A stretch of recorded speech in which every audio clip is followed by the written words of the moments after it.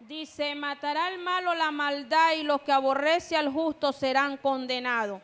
Vemos hoy en día, gloria al Señor, como la maldad ha abundado en el mundo, gloria al Señor. Vemos hoy en día como el diablo está destruyendo la juventud, gloria al Señor, porque a eso vino al diablo a destruir. Él vino a hurtar, él vino a destruir, gloria al Señor, pero Jesucristo vino a dar vida y vida en abundancia. El que anda en la maldad, gloria al Señor, la maldad acarrea la muerte, gloria al Señor. Aquellos que andan haciendo lo malo, lo espera la cárcel, lo espera el cementerio, pero en esta mañana Jesucristo te dice que te levante, que te salgas de ese mundo de maldad y que sigas a Jesucristo. Apártate del mal en esta mañana, apártate de hacer lo malo, haz el bien desde hoy en adelante, sírvale al Señor. Cambia esa pistola por una Biblia en esta Aleluya. mañana. Sírvale a Dios, amigo, joven que me está escuchando, hasta los niños que, que andan también, porque agarran los niños para hacer maldad. Se agarran los niños para que para prestarlo para hacer maldad. No, amigo, sirva al Señor Jesucristo porque él sí paga bien, el mundo te paga mal, gloria al Señor. Dice por aquí, y los que aborrecen al justo serán condenados. Hay un testimonio, gloria al Señor, gloria al Señor. Es muy maravilloso contar lo que el Señor hace en nuestras vidas. Hace mucho tiempo, gloria al Señor, hubo una persona, se metió con mi esposo, lo insultó, hasta le dijo que saliera para pelear, gloria al Señor. Pero nosotros le hemos servido al Señor y hemos estado siempre sirviéndole al Señor, gloria al Señor. Y hay de aquel, dice la Biblia, que se meta con uno de mis pequeñitos. Hay de aquel, dice la palabra. No hay que meterse con los siervos del Señor. No hay que meterse con los ministros del Señor. Aleluya. Gloria al Señor. Y vemos cómo ese joven insultaba a mi esposo. Gloria al Señor. Pero no nos alegramos por eso, no. Sino porque hay personas que se meten con las personas, con los siervos del Señor. Pero aquí dice que serán condenados. Gloria al Señor. Vemos como ese joven, a pesar de lo que hizo, mi esposo le dijo, quédate quieto, chico, Cristo te ama. Gloria al Señor. Y nos metimos para adentro como persona sabia, como persona inteligente, hermano. Nos metimos para la parte adentro nos encerramos, gloria al Señor. Y nos acostamos a dormir, gloria al Señor. Ese otro día, hermano, llega la esposa de ese muchacho buscando a mi esposo para que fuera a hacerle una oración. ¿Por qué? Porque lo habían golpeado. Casi se muere ese muchacho. ¿Pero por qué? Porque le habían dado una paliza. Gloria al Señor. No nos alegramos lo que le pasa a la humanidad, no. Pero hay de aquel que se mete con uno de sus siervos. No te metas con los siervos del Señor. No te metas con los que le sirven al Señor, con los que predican la palabra. No, amigo. Apártate del mal y haz el bien. Dios le bendiga. Ven. Gloria a Dios, gloria a Dios, gloria a Dios, gloria a Dios, gloria a Dios, gloria a Dios. ¿Cómo vale Rafaela? Gloria a Dios. A mí me toca el verso 22 del 34 y dice, Jehová redimirá el arma de su siervo y no serán condenados cuando en él confía. Gloria al Señor. Cuando nosotros confiamos en el Señor, Él nos guardará. Él nos guardará de todo peligro. Ahora yo le hago una pregunta a usted. Usted que me está oyendo, usted que nos está viendo por estos medios de la televisora y también oye por la radio. ¿En quién está usted poniendo su mirada? ¿Está usted enojado? Venga a los pies de Cristo. Cuando nosotros venimos a los pies del Señor Jesucristo, nosotros cambiamos. Si somos bravos, lo ponemos manso, alegre. Nos gozamos en la presencia del Señor. Yo me gozo cuando estoy allí metida en la historia de Daniel.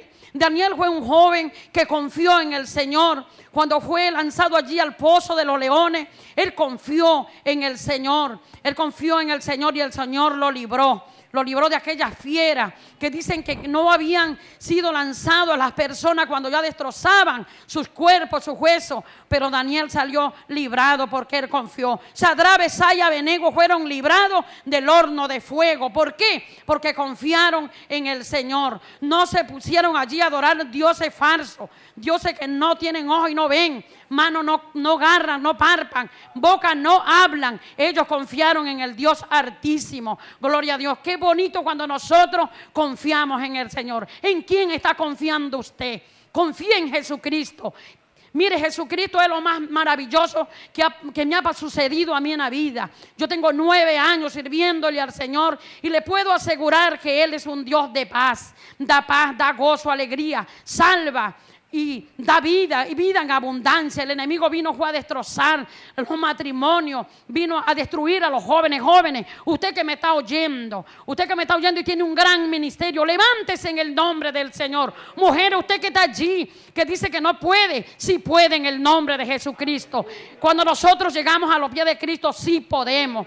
Nosotros podemos, mujeres, jóvenes, pastor, usted que está allí, que parece que no quiere ya, que las luchas lo tienen atormentado. No, Jesucristo está allí para ayudarte. Amén. Agárrate del manto del Señor y el Señor te va a librar de todo lo que se venga contra ti. No te achicopales por las luchas, por las pruebas, porque allí nosotros seremos, seremos madurados para seguir adelante. Sigan adelante con Jesucristo. No hay otro Dios en la tierra en que pueda haber la confianza, solo en Jehová Dios de los ejércitos. Dice allí en Job.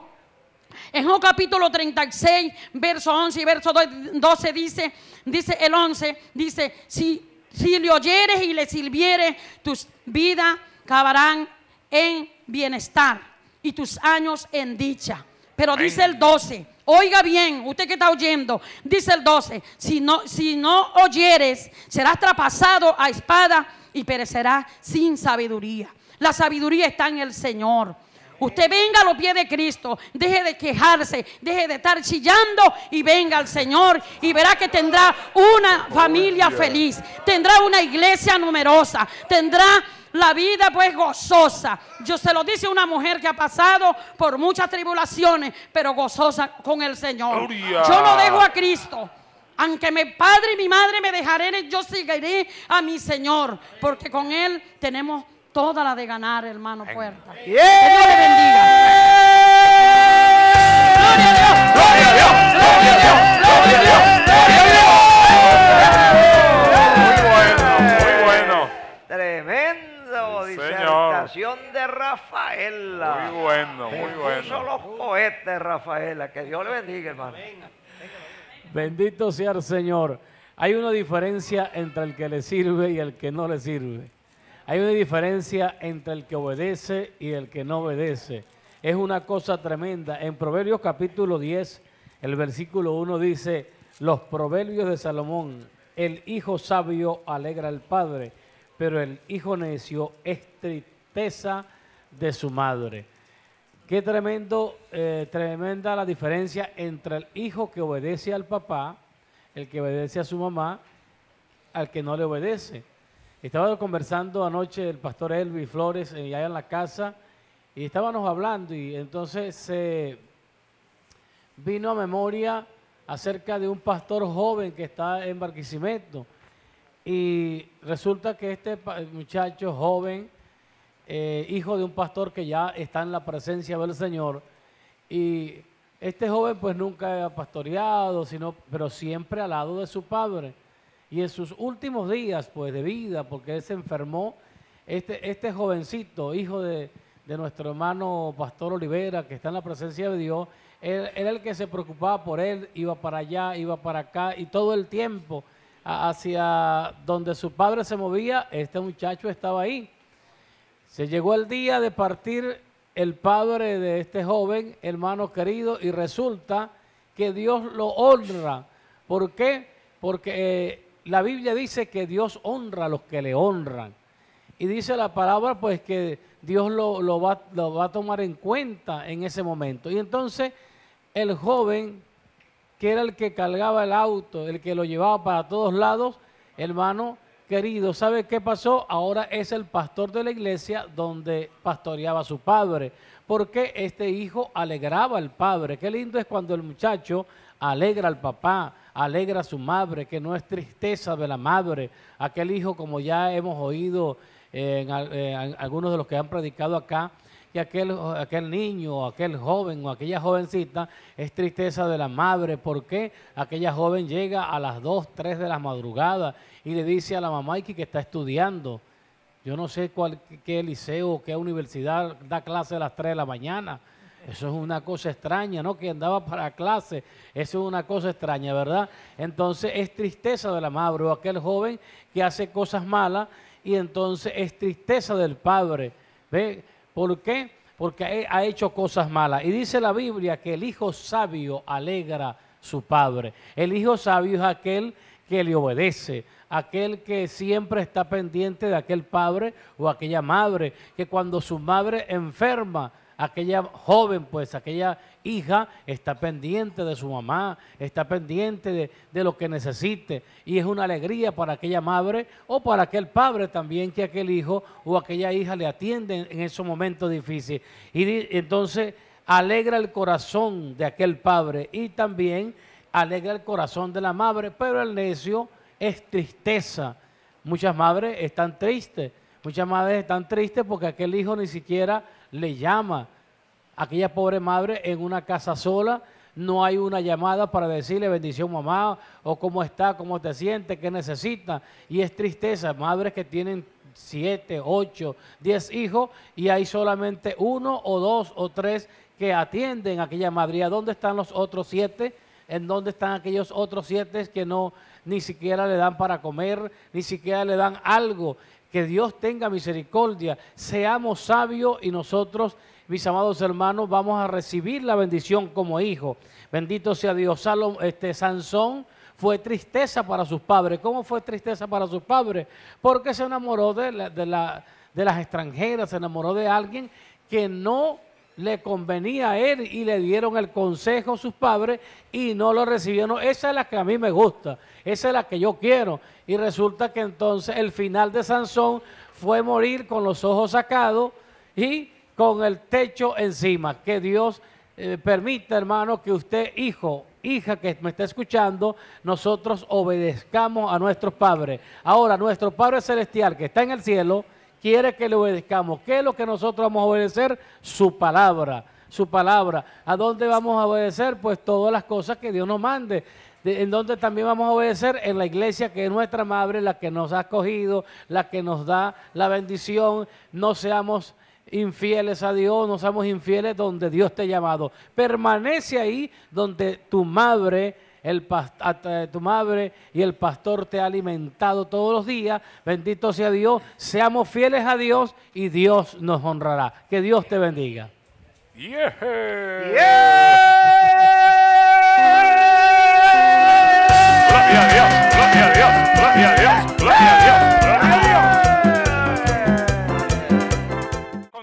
Con todos ustedes. Gracias por preferirnos, gracias por estar allí con nosotros. Y aprovechar esta bendición que sale para toda la tierra. Vamos al segundo estudio bíblico. Abra su Biblia ahora en Josué capítulo 6. Estaremos estudiando los versículos 21 hasta el 24. Le repito, Josué capítulo 6, versículo 21 al 24. Seguimos estudiando el tema la toma de Jericó. Dice así la palabra del Señor y destruyeron a filo de espada todo lo que en la ciudad había, hombres y mujeres, jóvenes y viejos, hasta los bueyes, las ovejas y los asnos. Mas Josué dijo a los hombres que habían reconocido la tierra, Entrad en casa de la mujer ramera y haced salir de allí a la mujer y a todo lo que fuere suyo, como lo jurasteis. Y los espías entraron y sacaron a Raab, a su padre, a su madre y a sus hermanos y todo lo que era suyo. Y también sacaron a toda su parentela y los pusieron fuera del campamento de Israel. Y consumieron con fuego la ciudad y todo lo que en ella había solamente pusieron en el tesoro de la casa de Jehová la plata y el oro y los utensilios de bronce y de hierro. Padre, muchísimas gracias por esta palabra que hemos leído. Permite, Señor, que esta palabra llegue a vida en nuestros corazones. Utiliza a tu siervo, el doctor Puertas, para ministrarnos la lección, segunda lección del matutino de hoy. En el nombre de Jesús, amén y amén. Que toda la gloria sea para el Señor. Diga conmigo, Dios siempre ha hecho diferencia Dios, Dios siempre siempre ha hecho diferencias entre el fiel y el infiel. entre el fiel y el entre el infiel, que sirve a Dios entre el que sirve a y el Dios que no le sirve. y el que no le sirve, Entre la luz y las tinieblas. entre la luz y las tinieblas, entre lo bueno y lo malo. entre lo bueno y lo malo. Nos dice la escritura, amados hermanos, que destruyeron a filo de espada todo lo que había en Jericó.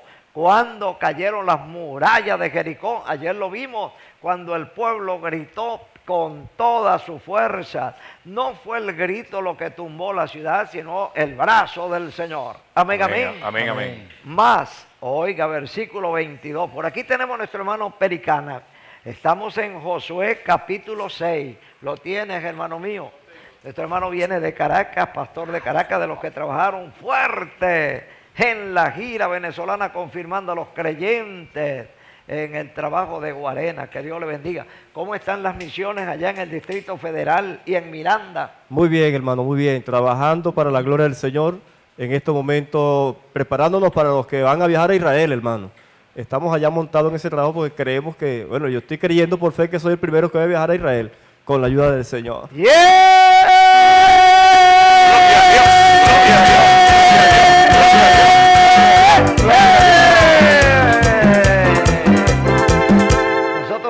Aquí a nuestro hermano Pericana y tenemos a Juan Carlos Rivero. Dios bendiga a nuestro hermano Juan Carlos Rivero, Dios mío.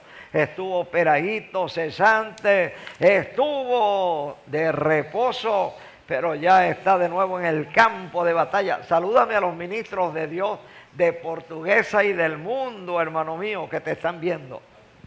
Bueno, vaya un saludo a todos los siervos y siervas del Señor que día tras día, pues están eh, conectados a través de esta gran bendición, a través de, los de estos grandes matutinos, eh, recibiendo, cosechando algo poderoso. El trabajo en el Señor no es en vano y ustedes los que, los que nosotros estamos recibiendo, nos alimentamos, hermano Puerta. Cuando yo estaba allá en el cuarto encerrado, yo podía copiar, podía escuchar los matutinos, me fortalecían y es algo poderoso, hermano, alimentarse pues a través de los matutinos. Hoy tenemos el privilegio de estar pues eh, viendo, escuchando. Si salimos afuera a la sala tenemos el radio, si nos metemos al cuarto tenemos el televisor. Entonces es una gran bendición que no podemos desperdiciarla. ¿Por qué no podemos desperdiciarla? Porque hay que aprovechar el tiempo porque los días son malos. Y en estos últimos tiempos pues el Señor está eh, canalizando todo, mis amados hermanos, para que la palabra llegue, para que no haya excusa, hermano, pues, para que no haya ningún pretexto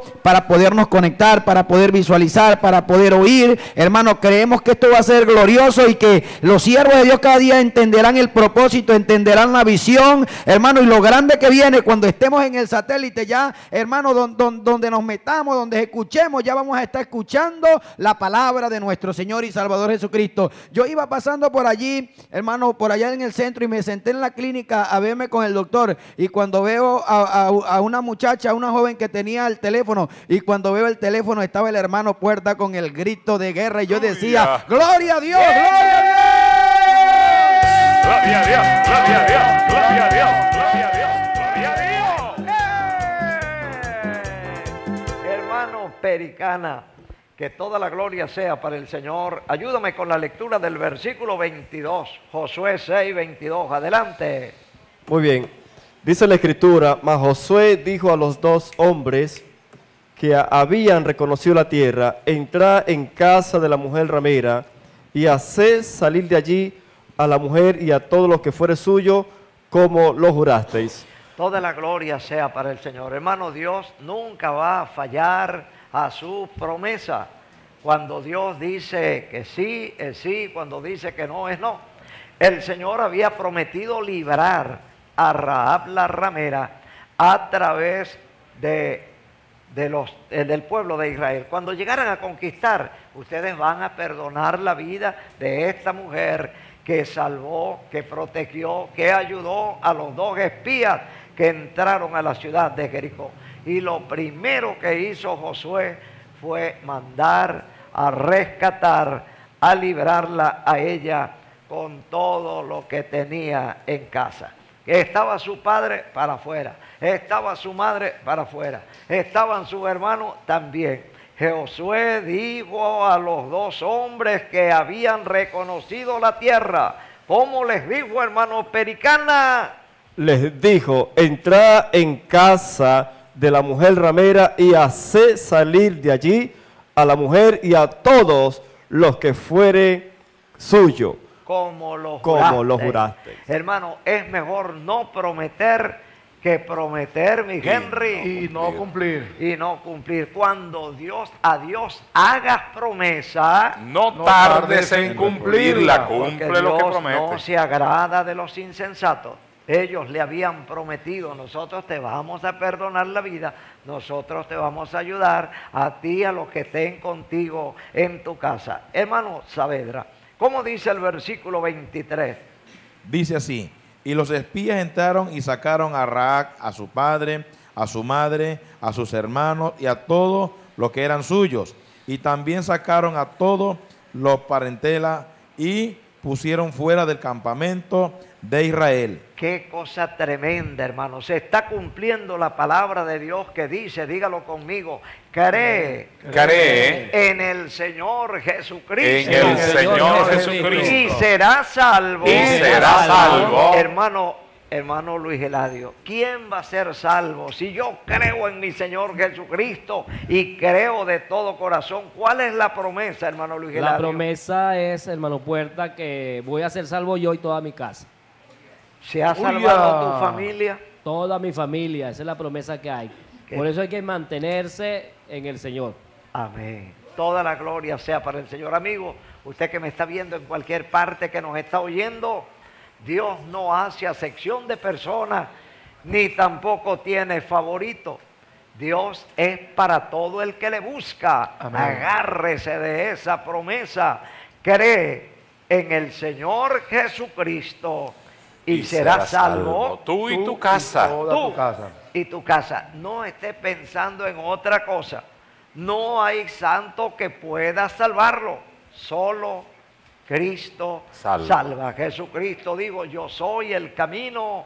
¿Y qué más La dice, hermano Henry? La verdad y la vida. Y nadie va al Padre si no es por mí, dice Y el Señor. También dijo el apóstol Pedro, no hay otro nombre Debajo del cielo. debajo del cielo Dado a los Dado hombres. hombres. dado a los hombres. En quien podamos ser en quien salvos. Podamos ser podamos ser salvos. salvos. Usted quiere ser salvo Amén. y quiere que se salve su familia. Amén. No hay otro camino.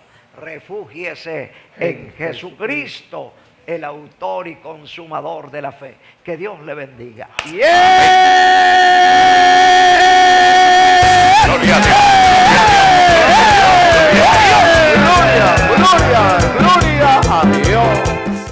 Nos fuimos a la conclusión del matutino de hoy. Ahora su Biblia en el Evangelio según San Juan, capítulo 4. Estamos estudiando Jesús y la mujer samaritana. Este es un pasaje muy hermoso. Vamos a la conclusión y dice así la palabra del Señor. Versículo 11 hasta el 15. La mujer le dijo, Señor, no tienes con qué sacarla y el pozo es hondo. ¿De dónde pues tienes el agua viva? ¿Acaso eres tú mayor que nuestro padre Jacob, que nos dio este pozo del cual bebieron él, sus hijos y sus ganados? Respondiendo Jesús le dijo, cualquiera que bebiere de esta agua volverá a tener sed, mas el que bebiere del agua que yo le daré no tendrá sed jamás, sino que el agua que yo le daré será en él una fuente de agua que salte para vida eterna. La mujer le dijo, Señor, dame de esa agua para que no tenga yo sed ni venga aquí a sacarla. Padre, Gracias por esta palabra que ha sido leída. Permite, Señor, que hoy aprendamos a través de esta conclusión. Utiliza el doctor Puerta sus labios para hablarnos a todos. En el nombre del Padre, del Hijo, del Espíritu Santo y el pueblo de Dios dice, Amén. Amén. Qué bonito, mis amados hermanos, cuando a la gente les gusta comunicarse, cuando les gusta conversar. Qué bueno cuando la gente responde a lo que se le está preguntando. Amén. Qué bueno cuando la gente contribuye, aporta con su idea. Mire, Dios nos ha dado la boca no solamente para comer, sino para comunicarnos, para entendernos. La gloria sea para el Señor. Me gusta mucho el caso de la mujer samaritana, porque esta mujer, amados hermanos, no era corta de palabra, le gustaba conversar, respondía, seguía el tema, cogía el hilo y no se apartaba, no, no disvariaba. Era una mujer, amados hermanos, bastante entendida. Jesucristo le dijo ayer, Jesucristo le dijo, ay mujer, si tú supieras quién es el que está hablando contigo, tú le pedirías y él te daría del agua de la vida.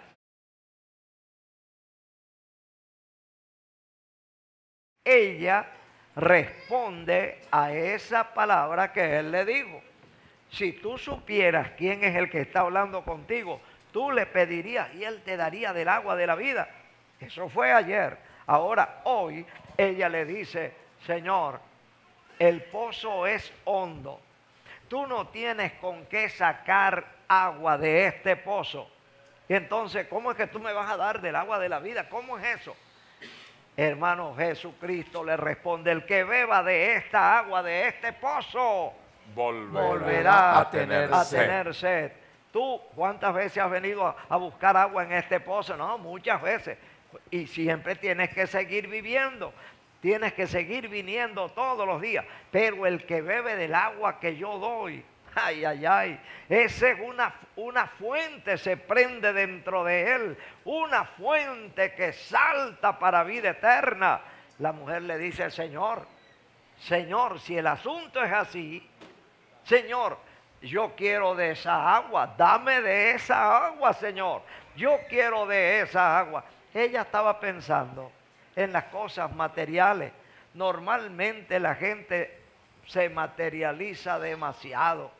La gente, amados hermanos, poco le gusta remontarse para contemplar las cosas espirituales. Pero qué lindo cuando nosotros dejamos las cosas de aquí, de abajo, y nos concentramos en las bendiciones. La Biblia dice que las cosas que se ven son Temporales. temporales, pero las que no se ven Son eternas. son eternas. Todo lo que nosotros vemos alrededor, lo que podemos tocar, lo que podemos palpar, todo eso es pasajero. El mejor avión, la mejor esposa, el mejor marido, los mejores hijos, todo van desapareciendo en el camino de la vida. Pero Jesucristo, después que viene a ti, no va a desaparecer jamás. Amén. Y sus promesas son promesas de vida eterna. La mujer tenía la mente, la mente inclinada hacia las cosas físicas, materiales, en cuanto a cosas espirituales. Cuando se iba a ella a imaginar que Jesucristo le estaba hablando de cosas celestiales, cosas profundas, cosas eternas. Cuando Él habla del agua de la vida, no es ese pozo donde hay que buscar una cuerda larga y un balde y meterlo con una piedra de un lado para que se doble, se hunde el balde, hay que irlo sacando, haciendo fuerza y sacar el balde de agua. No, no, no, no, no. El Señor tiene un agua Ay, ay, ay. El que bebe de esta agua no tendrá sed jamás. Nunca más volverá a tener sed. La gente bebe del aguardiente, tiene sed, de las drogas, tiene sed, de los placeres mundanos, tiene sed, de las fiestas, tiene sed. El hombre goza de las amistades, tiene sed, siempre quiere más, más, más. Pero el que recibe el agua de la vida, que es el Espíritu del Señor.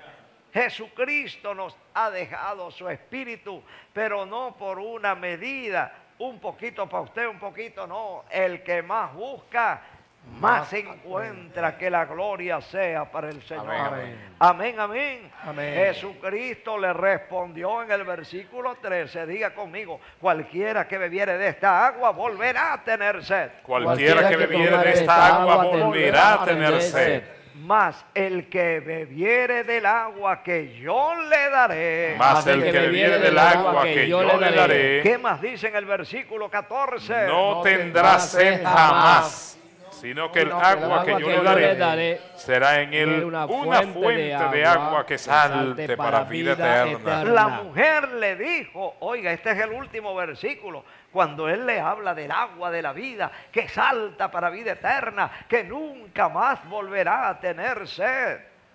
Cuando la persona bebe, cuando la persona fuma, usa el vicio, el chimón, el pecado, la droga, prostitución, adulterio, cualquier cosa de este mundo, siempre quiere más y más y más. El que ve quiere ver más y más y más y más.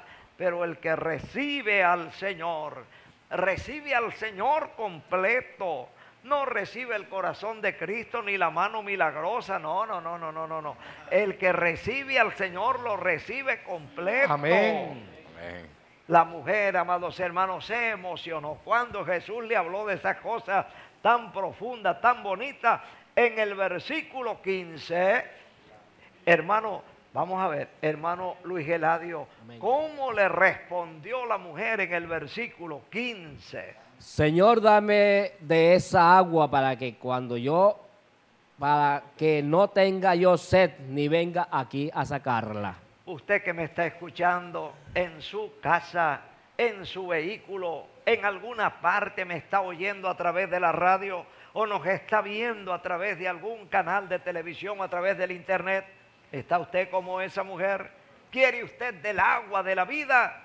No lo voy a convencer de una religión nueva. Póngase la mano en el corazón, aquí en el corazón, agarre ese corazón. Ya va a estar bebiendo del agua de la vida. Esa agua se llama Jesucristo. Amén, así es. Ore conmigo y ore fuerte. Diga, Dios mío, Dios mío, en este momento, en este momento, humilde como un niño, humilde como un niño, yo quiero, Señor, yo quiero, Señor, del agua de la vida, del agua de la vida, para no tener sed jamás, para no tener sed jamás. Señor Jesús, Señor Jesús, tú eres esa fuente, tú eres esa fuente. De agua viviente, de agua viviente. Señor Jesús, Señor Jesús, me declaro pecador, me declaro pecador. Confieso mis pecados. Confieso mis pecados. Reconozco, Jesús. Reconozco, que tú eres el Hijo de Dios. Que tú eres el Hijo de Dios. Que viniste a este mundo. Que tú viniste a este a mundo. buscar y salvar. A buscar y salvar Lo que se había perdido. lo que se había perdido. Señor Jesús. Señor Jesús, Te invito a mi corazón. te invito a mi corazón. Yo abro mi corazón. Yo abro mi para recibirte a ti. para recibirte a ti. Bienvenido Jesús. Bienvenido Jesús. Salva mi alma. Salva mi alma. Lava mis pecados. Lava mis pecados. Con tu sangre. Con tu sangre. Dame a beber. Dame a del beber agua de la vida. del agua de la La vida. vida eterna. La vida eterna. Salva mi familia. Salva mi mi familia. Salva mis amigos. Salva mis amigos. Escribe mi nombre. Escribe mi nombre en el libro de la en el vida. libro de la A vida. ti me entrego, Jesús. A ti me entrego, Jesús. Desde ahora y para siempre. Desde ahora y para Dame siempre. el gozo de la salvación. Dame el gozo de la gozo de la salvación. Que tu Espíritu Santo Que tu Que tu Espíritu Espíritu Santo fluye a través de mí. fluye a través de como mí. una fuente de agua viva. Como una fuente de agua viva. Desde hoy para Desde siempre. hoy para siempre. Para siempre. Dame el gozo de la salvación. Dame el gozo de la salvación. Dame tu amor. Dame tu amor. Dame tu perdón. Dame tu. Gracias Jesús. Gracias, Gracias, Jesús. por haberme salvado. Por haberme salvado. Soy nueva criatura. Soy nueva criatura. Para gloria de tu nombre. Para gloria de tu Dios mío. Dios mío. Tú eres mi Padre. Tú eres mi Padre. yo soy tu hijo. Yo soy tu para hijo. siempre. Para siempre. Soy salvo. Soy salvo. Ahora pertenezco Ahora Ahora a la pertenezco familia de Dios. a la familia de Dios. Tengo vida eterna. Tengo vida eterna. Amén. Amén. Y amén. Y amén.